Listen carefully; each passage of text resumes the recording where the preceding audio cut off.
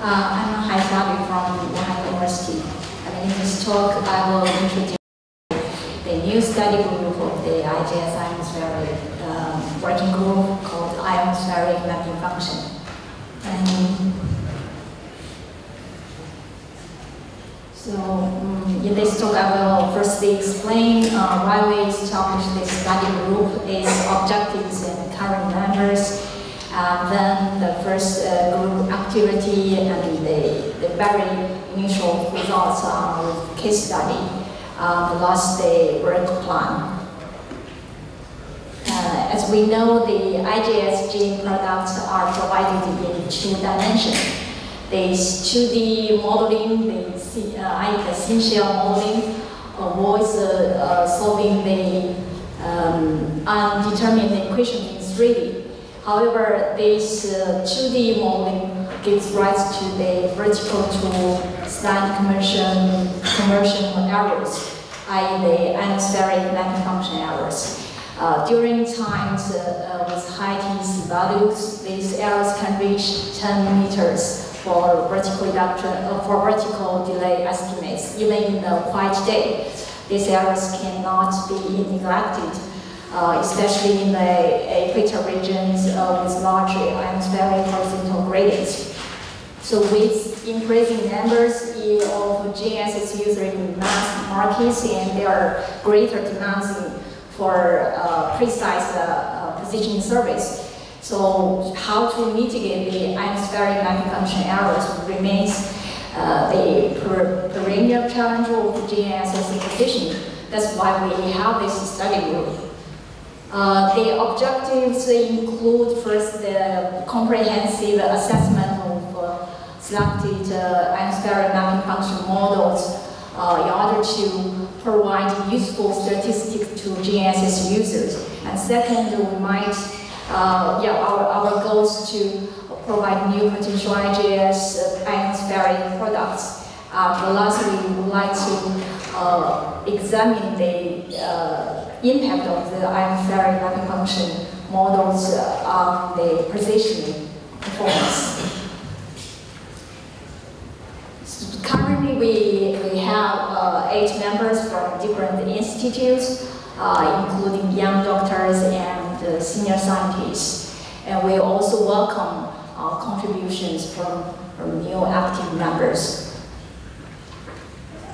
So last month we held our first online meeting to discuss the first uh, group activity, uh, the assessment of the following uh, atmospheric function models. So I will go through the, those models in the next slides.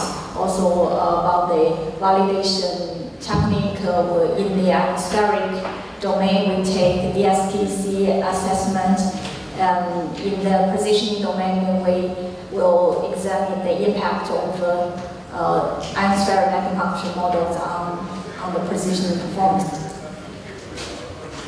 So first, the first type of uh, uh, atmospheric function models are like single layer models.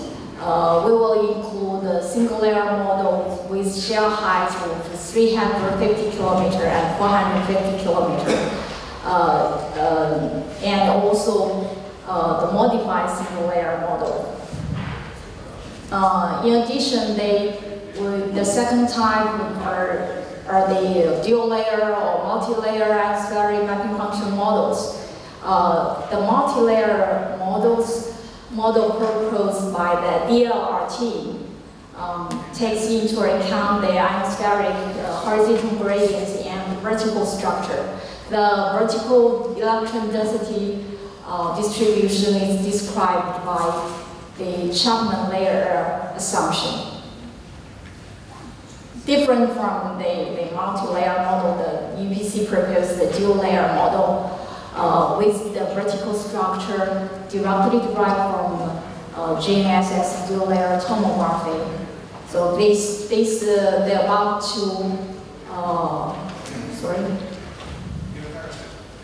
they're about to, uh, to models we mentioned. Uh, also we have experts, uh, and with expertise on this, we, we, we can get their support. And And our group member Reza from Natural Resources Canada has worked on the comparison of different uh, atmospheric model, uh, mapping function models, and also apply them with combination of uh, atmospheric maps and DCB products to the single frequency PPP. Uh, regarding the assessment, um, as we know, the dSTEC assessment has been successfully applied in the IGS uh, GIM product evaluation and combination, as mentioned by, by Manuel and in the previous talks.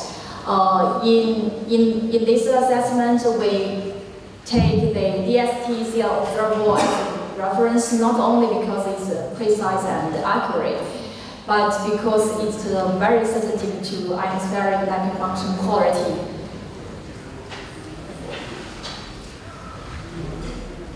So here we show the, the a case study uh, on a relatively quiet day in year 2014 in the Solar Max.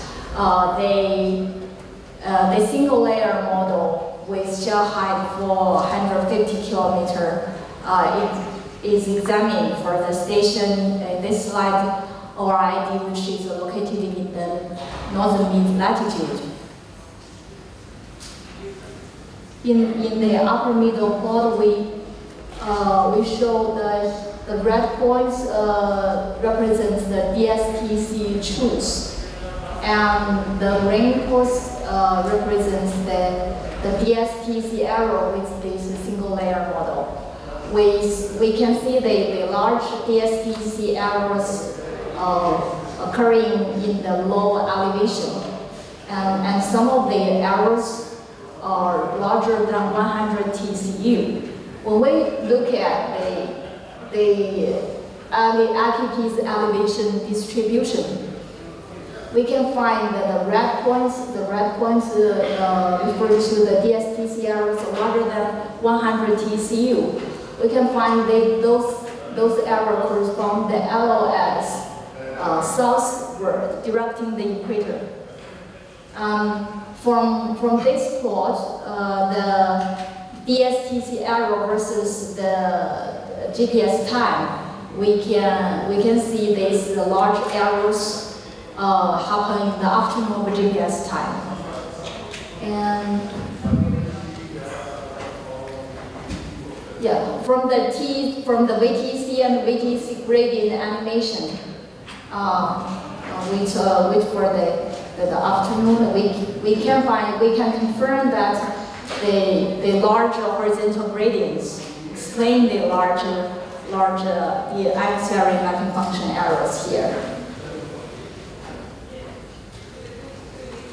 Yeah, now now the, the larger gradient happens. So corresponding to the southward LOS. Yeah. Uh, in this slide, we show the daily RMS error of dSTEC versus the latitude uh, for different uh, elevation ranges. Uh, we examine the single layer um, model with uh, shell height 450 kilometer in red and 350 kilometer in, in green. In general, we can find the large, uh, larger atmospheric mapping function errors in the low latitudes and, and smaller errors in the um, in the in the mid mid latitudes. But we we can we should notice the sorry, should notice the there is a small increase of errors in the in the, in the high latitudes. So we should pay attention to the, the large atmospheric, atmospheric uh, horizontal gradient in low latitudes and in high latitudes. And this for, for all the elevation statistics. So um, in, in this case, we can, we can see the uh, single layer model with 450 kilometer in the in red performance better uh, results.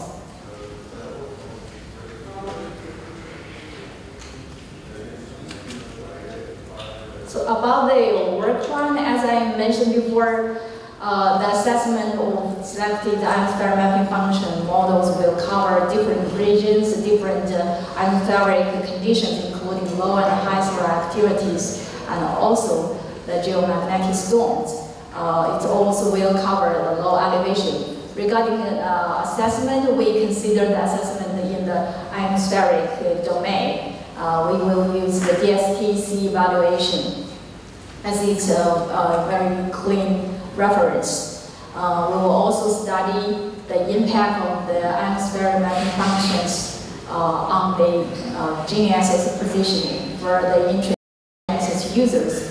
We will also investigate a new atmospheric mapping function model. So that's the current state of the newly born study group. Thank you for your attention.